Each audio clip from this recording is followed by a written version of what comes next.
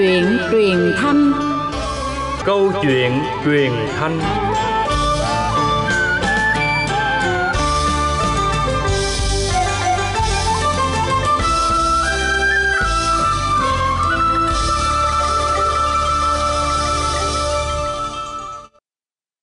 Kính thưa quý vị và các bạn, nhân nghĩa tợ thiên kim, tiền tài như phấn thổ là câu nói dân gian đã được lưu truyền từ đời này sang đời khác nhằm đề cao nhân nghĩa trong cuộc sống. Thật vậy, trong dòng chảy của cuộc sống hiện nay, khi đồng tiền đóng vai trò đạo diễn xã hội thì đôi lúc đôi nơi tình nghĩa đã bị phân hóa bởi đồng tiền. Cho nên, giữ gìn nhân nghĩa là điều rất quan trọng, thể hiện đạo đức và tình người trong cuộc sống. Câu chuyện truyền thanh Hiểu nhầm của tác giả Nguyễn Thị Bích Thủy phản ánh những con người làm việc thiện giúp đời, xuất phát ý nghĩa hai chữ đồng bào, nhất là đã học tập và làm theo tấm gương đạo đức Hồ Chí Minh. Bây giờ, mời quý thính giả cùng theo dõi qua phần tham gia thể hiện của các diễn viên Hữu Phúc vai chú ba, Tường Duy vai Nam Thành, Ngọc Loan vai vợ Nam Thành, Thu Quế vai Tư Liễu, Hồ Trải đọc lời dẫn, biên tập và dàn dựng chương trình Quỳnh Thanh Tuấn.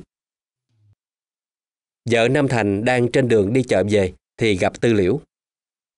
Thím năm, thím năm. Ủa, chị Tư kêu tôi có chuyện gì không chị Tư? Thì có chuyện, tôi mới kêu thím chứ. Có chuyện gì thì chị nói đi. Chuyện này quan trọng lắm nghe thím. Chuyện gì vậy chị? Chị nói đi đừng có úp mở làm tôi hồi hộp muốn chết nè. Mà thím hứa với tôi á là khi tôi nói ra thím phải bình tĩnh nghe. Không có được làm lớn lên nghe. Mình từ từ, lạc mềm buộc chặt. Mà chuyện gì vậy chị Tư? Tôi nghi á, chú Năm có mèo đó thím. Nhà tôi không có nuôi mèo. Thím Năm mà, tôi không có nói là mèo bốn chân, mà tôi nói là mèo hai chân kìa. Ý chị nói là anh Thành có bồ đó hả? Trời trời, thím Năm nhỏ tiếng chút thôi. Để chú Năm mà biết tôi nói với thím á, chú Năm chửi tôi chết. Tại tôi thấy thím cực khổ, mà chồng ngoại tình, tôi thấy thím khổ tôi chịu không có được. Nên tôi mới nói với thím đó. Mà mà làm sao chị biết được? Tôi thấy, chẳng những thấy á, mà tôi còn biết luôn con bồ của chú Năm nữa kìa. Làm sao chị biết được ai là bồ của anh Thành vậy? Nhà của cô ta ở đâu? Có chồng con gì chưa hả? Thím Năm, thím Năm hỏi từ từ á, tôi mới trả lời kịp chứ. Con nhỏ đó trong xóm của mình luôn, mới thôi chồng. Ai vậy chị Tư? Tôi mà biết đó, tôi xé xác nó ra đó. Thím Năm, thím Năm bình tĩnh đi. Chuyện đâu còn có đó mà. Tôi hết bình tĩnh nổi rồi chị Tư.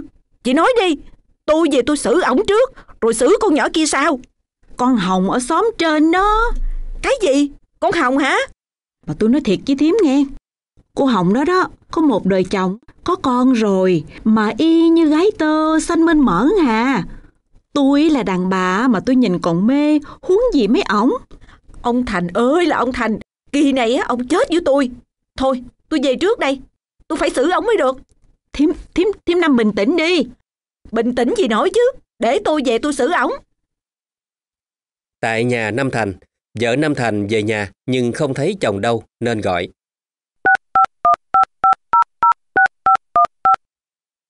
Alo, anh ở đâu về gấp cho tôi? Không có công chuyện gì hết á, anh phải về liền. Trời ơi là trời, chồng với con, hồi xưa nghèo khổ thì không có sao. Bây giờ đỡ hơn một chút á, rồi bắt đầu sanh tật. Hèn chi á, lúc này cứ nửa đêm có điện thoại là đi bất kể giờ giấc. Nói là đi làm công chuyện, đi lại chỗ nhỏ đó chứ đi đâu. Vợ ơi, anh về rồi nè. Về rồi hả? Ờ, ờ, anh về rồi. Anh khát nước quá, rót cho anh miếng nước đi. Rót nước hả? Nè, nước nè, Ừ, nước gì mà mặn chát vậy vợ? nước muối. Anh kêu em rót cho anh nước lọc, sao lại để muối vô làm gì? Uống vô á, cho thông minh lên. Bữa nay có chuyện gì á mà anh thấy em lạ lạ vậy? Không có chuyện gì hết á. Kỳ lắm mà nha. Có gì á thì em nói cho anh biết. Em giận anh chuyện gì?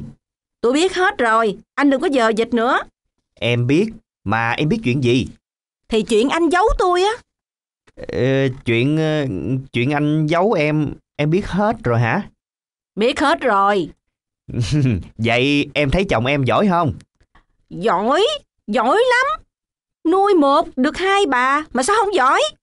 Em nói cái gì mà hai bà? Thì anh nuôi mèo ở ngoài chứ gì? Mèo chuột gì ở đây? Anh đừng tưởng tôi không biết anh làm gì sau lưng tôi. Anh có vợ nhỏ, người ta nói với tôi kìa. Hoàng cho anh quá vợ ơi. Anh có vợ nhỏ vợ lớn gì đâu. Nổi quan thị màu hả? Không có thiệt mà. Nhưng ai nói với em á là anh có vợ nhỏ. Anh hỏi á, để anh chửi người ta hả? Không có phải. Để anh giải thích rõ cho em biết. Anh nói không có vợ nhỏ hả? Vậy tôi hỏi anh nè. Tại sao cứ nửa đêm nghe điện thoại, bất kể giờ nào anh cũng đi ra ngoài. Hỏi anh á, thì anh nói là đi công chuyện, công chuyện. Mà chuyện gì á thì anh không có nói. Thì anh đi... Đi đâu? Anh nói đi. Nói thiệt với bà xã là anh đi chạy xe cấp cứu đó. Chạy xe cấp cứu hả? Tại sao á? Anh phải đi chạy xe cấp cứu. Làm gì mà cấp cứu toàn nửa đêm không vậy? Em nói chuyện nghe mắc cười quá à. Bệnh tới á thì bất kể giờ nào. Chứ không lẽ bệnh có báo trước sao? Tôi không có tin. Thành ơi, Thành. Ừ, Dạ con ở trong nhà này chú ba. Có chú bà tới kìa. Không tin á em hỏi chú ba đi. Sao? Có chuyện gì mà tin hay không tin vậy bay? Dạ chú ba mới qua. Dạ, con chào chú ba. Chú ba ngồi chơi. Bỏ chuyện của con đi chú. Chú qua kiếm con có chuyện gì không chú ba? Ờ, hồi sáng cô Năm lại, đưa cái bao thư này cho con nè. Dạ nguyên tắc xe từ thiện mình là không nhận tiền bồi dưỡng của bà con mà chú. Thì chú cũng biết vậy. Nhưng mà chị Năm nói hôm nay chỉ có một tuần mà đưa bà Bảy đi cấp cứu hết ba lần. Đêm nào cũng khuya khoắt. À, Mua đồ ăn á thì con từ chối. Nên chị Năm à, đưa cái bao thư cho con. Coi như là bồi dưỡng con á. Con không dám nhận đâu chú ba. Nhà có người bệnh á, nằm bệnh viện đã tốn nhiều tiền lắm rồi. Mình là xóm làng, có giúp được gì thì mình giúp. Chú ba, bố chồng con chạy xe cấp cứu thiệt hả chú? Thiệt chứ. Trời ơi, nó chạy cả tháng nay rồi. Bộ con không biết hả? Con không nói cho vợ con biết hay sao? Dạ con không có nói, con sợ vợ con cản. Ờ, hổm rại á, nó chạy hơi nhiều đó bay. Vợ con nó ghen con kìa chú. Thì phải rồi. Giờ rất bất thường mà không nói với vợ bay á, thì nó ghen là phải rồi. Tại anh không nói cho em biết. Giờ em biết lý do rồi. Vậy em có thể nói cho anh biết là ai nói với em.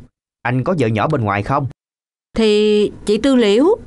Mà em hỏi anh á, tự nhiên á, sao anh nhận chạy xe cấp cứu vậy? Hôm bữa ngồi đánh cờ với chú ba.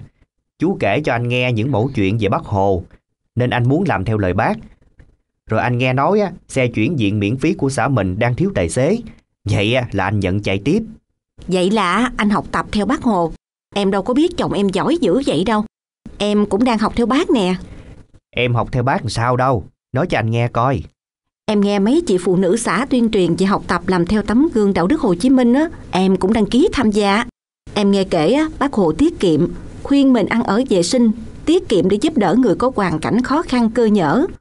Vậy bây giờ con đã làm được những gì rồi? Dạ, hàng ngày á, thì con siêng năng quét dọn nhà cửa để sạch bếp, sạch ngõ và còn tiết kiệm trong chi tiêu. Ờ, vậy là đúng rồi đó con. Bác Hồ có nói, cần mà không kiệm như gió vào nhà trống. Mình có giỏi bao nhiêu á, mình có làm bao nhiêu đi chăng nữa, mà không biết tiết kiệm á, thì ờ, cũng không còn gì hết trơn trọi. Còn nữa chú ba, tổ phụ nữ của tụi con á, còn đóng góp gạo để giúp đỡ cho mấy chị em có hoàn cảnh khó khăn đó chú. Con không ngờ vợ con giỏi như vậy. Anh nói như vậy á, làm như em tệ lắm ạ. Thím Năm ơi! Thím Năm, có nhà không thím Năm? Em chưa kiếm chị, mà chị đã đến tìm em. Có nè, vô nhà đi chị Tư ơi. Thím Năm, vụ đó làm sao rồi? Ủa, có chú Năm ở nhà nữa hả? Con chào chú ba. Ừ, Thôi thôi thôi, mọi người đang nói chuyện, để để tôi về. Chị Tư, khoan đã. Có gì không thím Năm? Chuyện hồi sáng á, tại sao chị lại nói vậy chứ? Chị có thấy tận mắt không? Thì tôi... ừm, Chị cứ nói đi, không có sao đâu. nhưng có chú Năm ở đây. Không có sao đâu, chị cứ nói đi. Thì hôm trước chị đi chợ về, thấy cô Hồng đưa đồ cho chú Năm. Chú Năm đẩy đi, cô Hồng đưa lại, dằn co qua lại một hồi... Rồi sao nữa chị? Thì vậy đó, Có nhiêu đó thôi á, mà chị nói là chồng em ngoại tình hả? đàn ông có vợ mà dằn co qua lại với người phụ nữ đã ly hôn chồng thì đáng nghi lắm thím ơi. Trời ơi, chị nghi kiểu đó là chết em chị Tư ơi. Chưa hết đâu. Cách đây hai bữa tôi thấy nè, sáng sớm cô Hồng bước xuống xe do chú chở. Tôi hỏi chú, hai người đi đâu lúc sáng sớm? Này nha, tôi chạy xe đưa má cô Năm lại á, là ngoại của cô Hồng đi bệnh viện. Cô Hồng đưa tiền bồi dưỡng. Tôi không nhận á, mới có chuyện đẩy qua đẩy lại. Còn chuyện cô Hồng xuống xe lúc sáng sớm là vì đưa bà Bảy đi bệnh viện xong, cô Hồng theo xe về đó. Vậy là không có chuyện chú ngoại tình hả? Hết nói nổi chị luôn à. Nếu không có chú ba giải thích, vợ em giận em chết luôn đó. Hey, chú nói thiệt với bay nhân tư. Mai mốt bay muốn nói chuyện gì á, thì bay phải tìm hiểu cho kỹ à. Tại con thấy chuyện như vậy á, nên con kể cho thím năm nghe để thím năm biết. Cũng nhờ vậy á mà em biết chồng em đang làm việc tốt á. Em nói vậy á, chị ngại với chú Năm. Thôi, chuyện gì cũng đã qua rồi. Miễn sao từ nay á, bay đừng có nghĩ sai cho người khác là được rồi. Dạ, con biết rồi chú. Con sẽ rút kinh nghiệm để không nói năng lung tung nữa. Dạ, cũng trưa rồi. Sẵn đây chú ba với chị Tư ở lại ăn cơm cho vui với gia đình. Thôi, chú phải về, kéo thím ba bay ờ, lại càng nhằn nữa.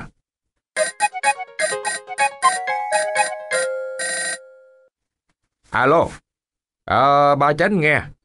Làm sao? Rồi, rồi, rồi, rồi, tôi tới liền. Nam ơi, chuẩn bị xe đi con, có người cấp cứu á.